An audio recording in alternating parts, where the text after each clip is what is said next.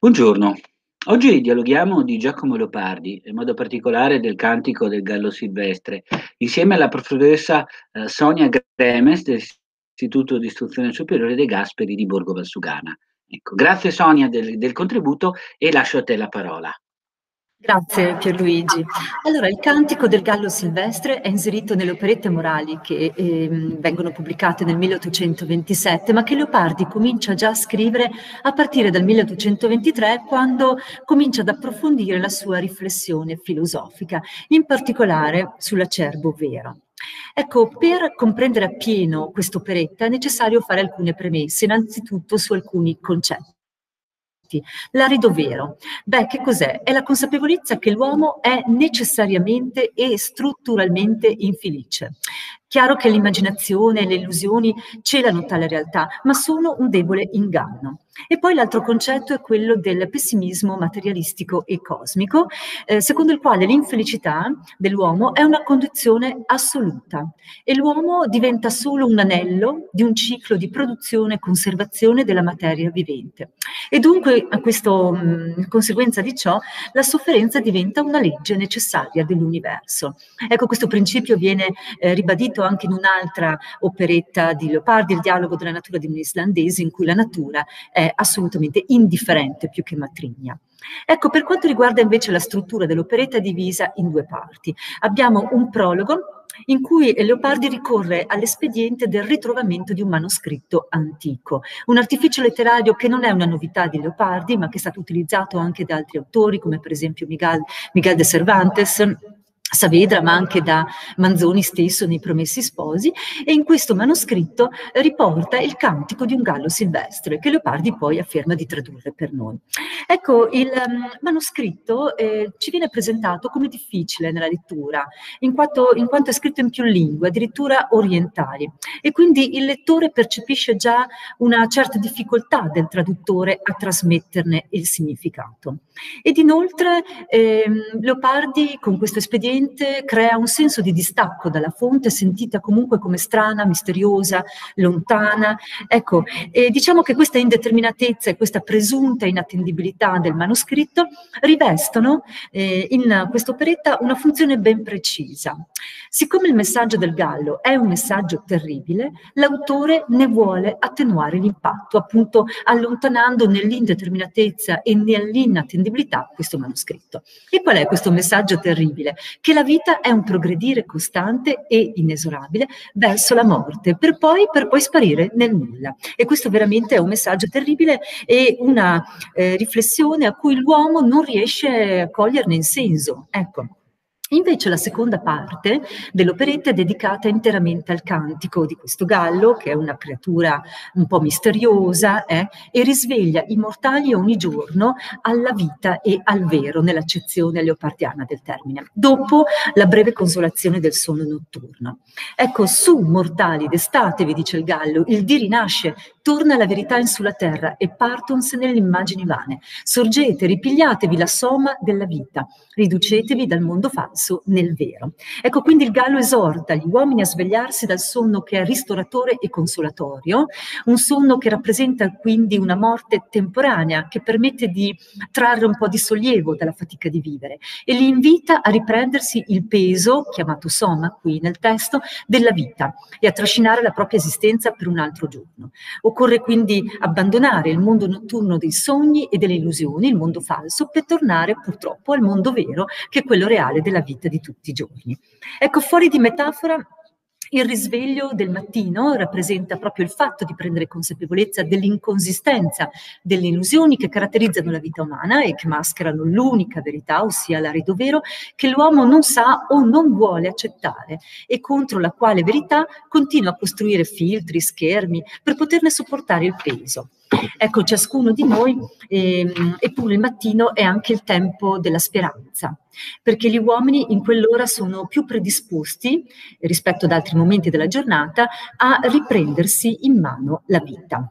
Ecco, ehm, infatti Leopardi in questo mh, portavoce del Gallo afferma ciascuno in questo tempo raccoglie e ricorre con l'animo tutti i pensieri della sua vita presente, richiama la memoria i disegni, gli studi, i negozi, quindi tutte le consuete attività che tengono occupato l'uomo durante il giorno. Si propone i diletti e gli affanni che gli siano per intervenire nello spazio del giorno nuovo e ciascuno in questo tempo è più desideroso che mai di ritrovare pure nella sua mente aspettative gioconde e pensieri dolci. Ma ma c'è un ma. Pochi sono soddisfatti di questo desiderio, perché a tutti il risvegliarsi è danno, ribadisce il Gallo, e quindi il misero essere umano non è appena sveglio che gli torna e ripiomba subito nelle mani dell'infelicità sua. Ecco, quindi per gli uomini sarebbe preferibile dormire perpetuamente? Eh, insomma, questa è una domanda retorica alla quale si può immaginare benissimo la risposta. Ecco, il tema chiave del mattino, come momento, momento più felice del giorno, viene ribadito da Leopardi anche in un passo dello Zibaldone in cui afferma che nella sua vita eh, infelicissima l'ora meno triste, non l'ora più felice, ma quella meno triste, è quella del levarmi. Le speranze e le illusioni ripigliano per pochi momenti un certo corpo e io chiamo quell'ora la gioventù della giornata per questa similitudine che ha con la gioventù della vita. E anche riguardo alla stessa giornata si suol sempre sperare di passarla meglio della precedente. E la sera, che ti trovi fallito di questa speranza e disingannato, si può chiamare la vecchiezza della giornata. Quindi viene istituita una corrispondenza perfetta tra il mattino, che è il momento della gioventù, e la sera, che è il momento della maturità e della vecchiaia, quando le illusioni e la speranza della prima parte della giornata eh, si trasformano nel disinganno che, viene, che coglie l'uomo la sera. Ecco, il Gallo, eh, per ribadire anche l'ineluttabilità del suo messaggio, interpella anche il Sole, che però rimane un interlocutore muto e gli chiede se mai nel corso dei secoli abbia mai visto qualche essere felice, in generale se ci sia la felicità nell'universo o se lui stesso sia felice. Ovviamente la mancanza di risposte da parte del Sole è essa stessa una risposta inesorabile, ossia che la vita è male. Ciò fa tornare il Gallo alla sua precedente funzione Mortali destatevi, non siete ancora liberi dalla vita. Per ora non vi è concessa la morte, solo di tratto in tratto vi è consentita per qualche spazio di tempo una somiglianza di quella, ossia il sonno, però che la vita non si potrebbe conservare se ella non fosse interrotta frequentemente. Tal cosa è la vita che a portarla fa di bisogno ad ora ad ora, deponendola, ripigliare un poco di lena e ristorarsi con un gusto e quasi una particella di morte. Ecco, dunque l'unica consolazione temporanea però dei mortali è proprio il sonno, il sonno che comunque è qualcosa di necessario per la conservazione della vita, in quanto l'uomo ha bisogno dei momenti di tregua in cui eh, diciamo riprende un po' la carica l'energia. Allora lo scopo dell'essere qual è? La morte, anzi il nulla. Pare che l'essere eh, delle cose abbia per suo proprio ed unico obietto il morire, procede il Gallo, non potendo morire per quel che non era, perciò dal nulla scaturirono le cose che sono. Certo, l'ultima causa dell'essere non è la felicità, però che niuna cosa è felice.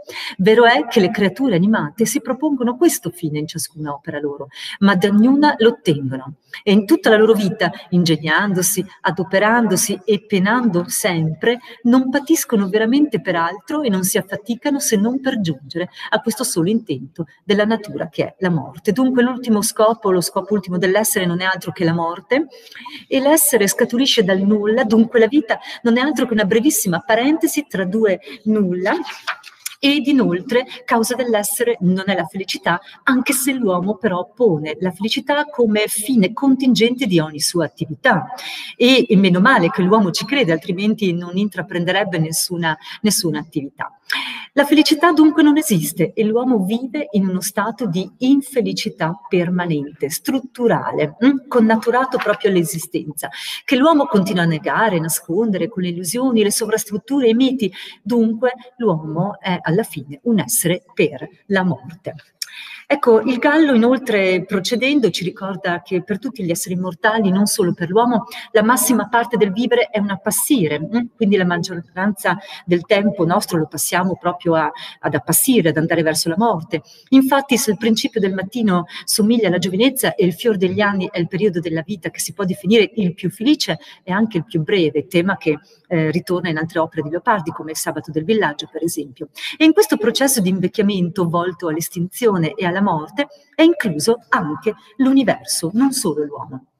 Ogni parte dell'universo si affretta infaticabilmente alla morte con sollecitudine e celerità mirabile, tempo verrà che esso universo e la natura medesima sarà spenta, ossia finirà nel nulla. È significativo anche l'uso di questo verbo, spegnersi, no? E di tutte le vicende e le cose create non rimarrà traccia alcuna, ma un silenzio nudo e una quiete altissima empieranno eh, lo spazio immenso. Ecco, in quest'ultimo passo eh, viene sancita la totale mancanza di un senso della vita, non solo dell'uomo, ma di tutti gli esseri e addirittura dell'universo stesso.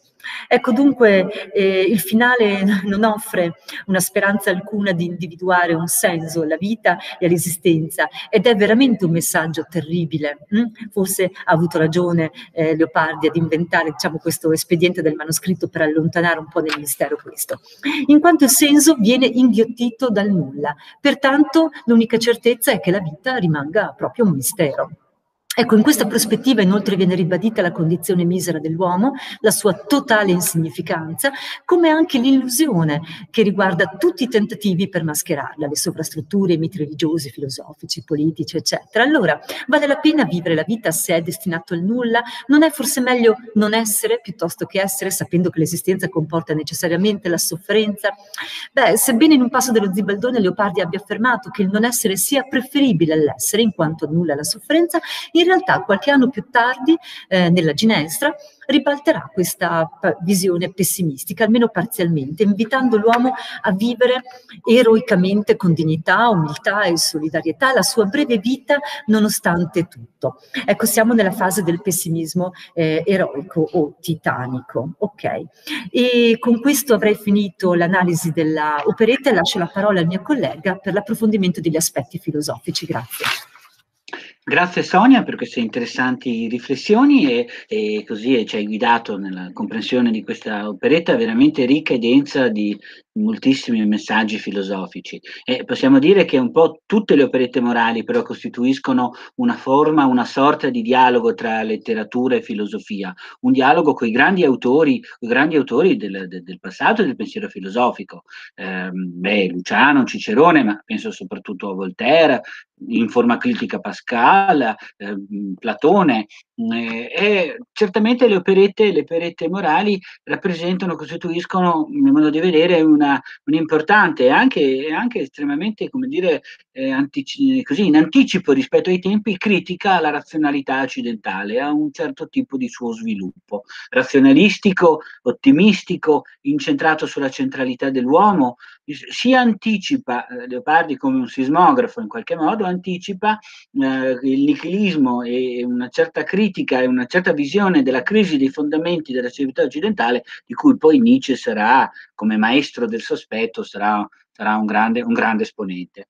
Eh, ma innanzitutto partirei dal, dalla dimensione della centralità dell'uomo, dall'umanesimo all'illuminismo, pensiamo alla De Dignitate Hominis no? di Pico della Mirandola, dall'umanesimo all'illuminismo o a Kant stesso che poneva l'uomo come fine di ogni cosa, l'uomo aveva in una forma però talvolta anche non così disinteressata, eh, posto se stesso al centro del creato dell'universo di ogni cosa.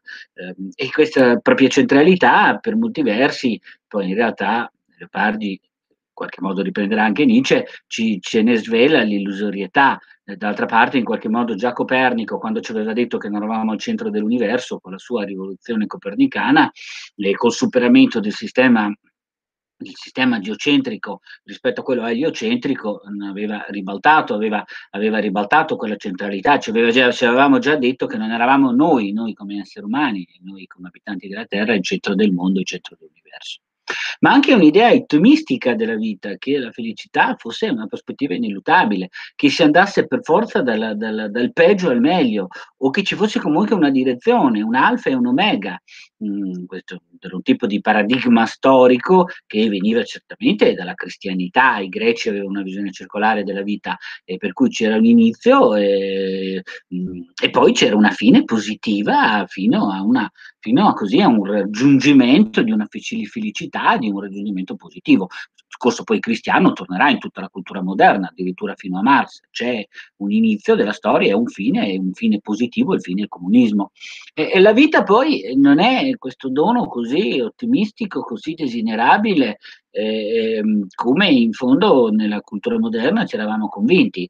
Ehm, eh, esiste un mal di vivere, Pardi qui eh, anticipa no, tematiche che poi nel Novecento saranno importanti e sviluppate, il cosiddetto male di vivere eh, e le riflessioni che poi saranno in qualche modo anche in Montale, la, e, e la, la, vita presenta nella sua dimensione più, più profonda e, è, è, dimensione dura, terribile, per certi versi tragica. Mi viene in mente Sofocle quando fece dire insomma, eh, era meglio non essere mai nati no, i suoi protagonisti ed era la cosa migliore nell'Edipo Re. E, e, e, la natura, era un'altra convinzione della cultura moderna era che la natura fosse, dovesse accoglierci positivamente, fosse, fosse eh, il luogo dove realizzare completamente noi stessi, il regno dove realizzare sulla terra quel regno di Dio. Ma invece la natura dimostra questa, questa, questo habitat, questa, questa, questa, madre non così positiva, appunto una matrigna che eh, perpetua i cicli di nascita e di morte, incurante della nostra, della nostra dimensione, della nostra, della nostra, felicità, che ci incatena a dei cicli di cui poi noi diventiamo in qualche modo delle vittime, no? Eh, dentro, una, dentro una, una, come dire, naufraghi in una, in una scialuppa che ci costantemente ci, no? ci, ci porta al naufragio.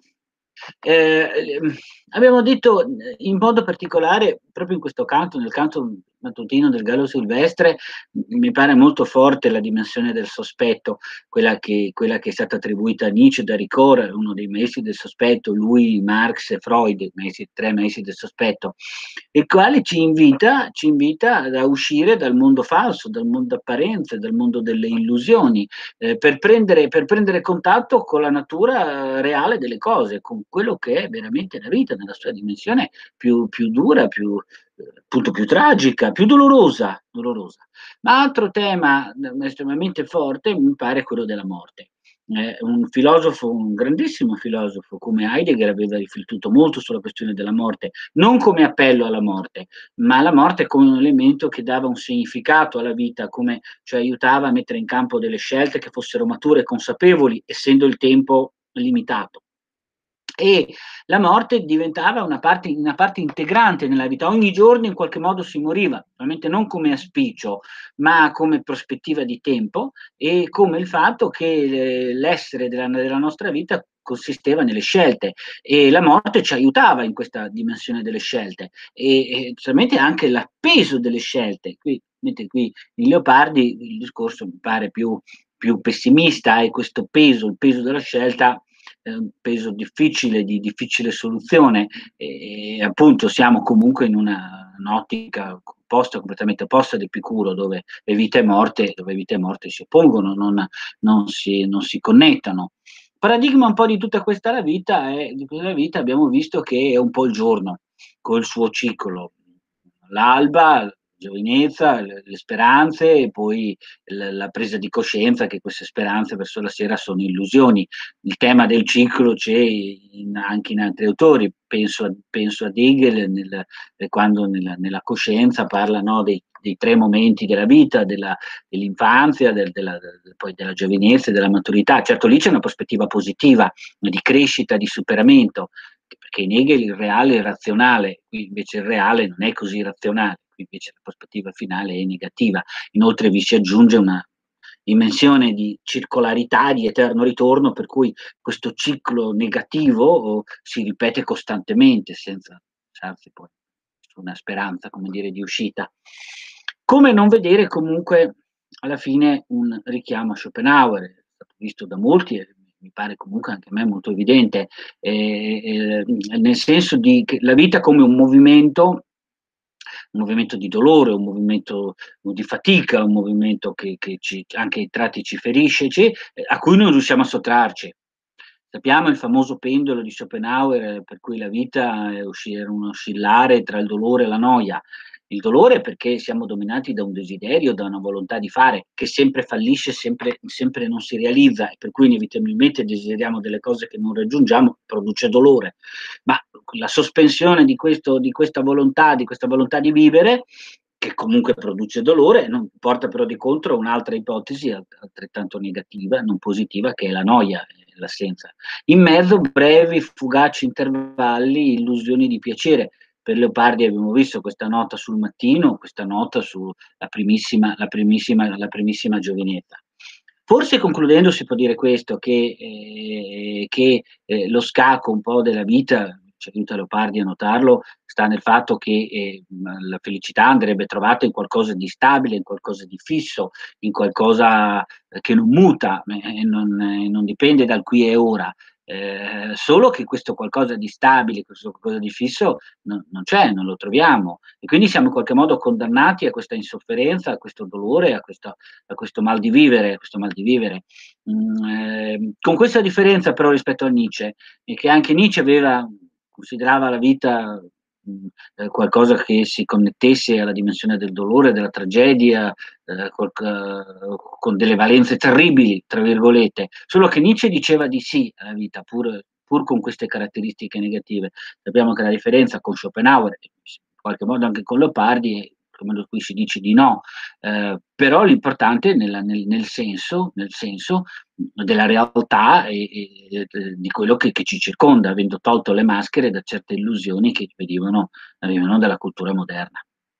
Io mi fermo qua, ringrazio ancora la professoressa Sonia Gremes che ci ha aiutato ad affrontare certi temi e vi aspetto ai prossimi incontri che faremo connessi a altri autori, natura letteraria e filosofica. Grazie e grazie per averci seguito e a presto.